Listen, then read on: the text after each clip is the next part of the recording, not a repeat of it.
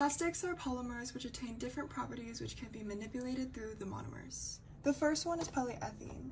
They are most commonly used for plastic containers, plastic bottles, and plastic bags. Now, how is polyethylene a problem? Polyethylene is one of the world's most commonly used plastic, which means it is also the most commonly discarded plastic. 300 million tons of plastic waste is discarded every year. Producing polyethylene takes large amounts of energy, which leads to high emissions of carbon dioxide, which contributes to global warming and climate change. The next plastic is terylene. This plastic is mostly used for clothing. When discarding terylene, it causes more pollution than discarding cotton because it's not a natural fiber like cotton is, but rather a synthetic fiber, making it extremely hard to naturally decompose. The next plastic is nylon. This plastic is used to make ropes, fishing nets, tents, and curtains. Nylon is a significant problem because the greenhouse gases that are produced by nylon create nitrous oxide, a greenhouse gas that is 300 times more potent than carbon dioxide, which contributes to global warming.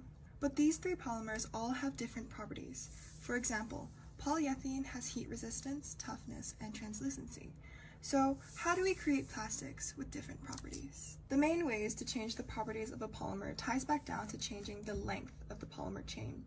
Changing the length of the polymer chain is genuinely used to manipulate the melting point of a polymer. When the chain becomes longer, they entangle, which makes them stick together better.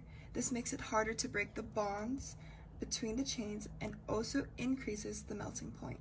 This is very useful for plastics like polyethylene, which is typically used to store food that can later be microwaved. However, these three polymers are all non-biodegradable, making it impossible for them to decompose naturally in the ground quickly. So, what are some solutions to dispose of plastics?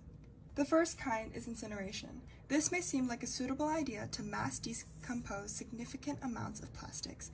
However, the fumes created when you burn plastic is intoxicating to human health and contributes to the persisting problem of global warming, which is why the best solution for this method would be to trap the fumes in a container and bury those containers. The next method of decomposing is recycling. This is the most sustainable method because about 75% of all waste can be recycled into new materials. The only disadvantage of this method is that not many people understand how to recycle correctly, which is why teaching everyone and the generations to come how to recycle can significantly reduce our plastic waste. The last solution is burying plastics in landfills. With the amounts of plastic discarded every year, this is not an ethical method to dispose of plastic. Plastics buried deep in landfills can trickle harmful chemicals which later spread into undergrounds. The nature of plastic is the true problem. Because of their long-lasting propriety and failed ability to decompose naturally in a safe manner, this leads me to show how chemistry is trying to overcome this problem. Recently, chemists have created a new plastics known as water-soluble plastic. This is a form of packaging that is similar properties of plastic now, but can be safely disposed in hot water. This product is not made of genuine plastic, but biodegradable materials that are safe and friendly to the environment. To recap what we have learned, these are the three different polymers that we looked at today and how to manipulate polymers to attain different properties. We also learned about solutions to disposing plastics now, the safest one being recycling. And lastly, we found a new material developed through chemistry that has the potential to replace plastic waste with a much safer decomposition style. Thanks so much for watching. Um, bye.